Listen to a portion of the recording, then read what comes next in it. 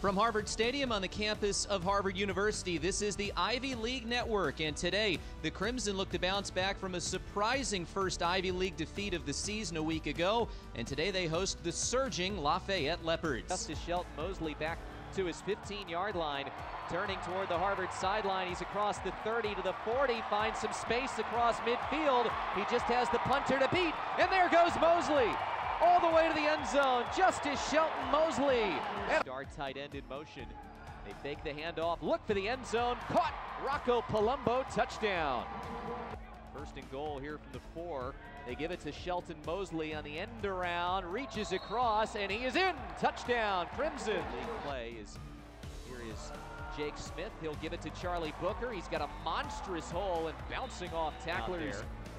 Shelton Mosley toward the bottom of your screen. They go for Shelton Mosley, but it's overthrown and intercepted inside the 10 yard line. Again, Booker gets tripped up and he's in. Just enough to get across the goal line. Touchdown, Harvard. They send it towards Scott. He'll grab it at the 10 yard line.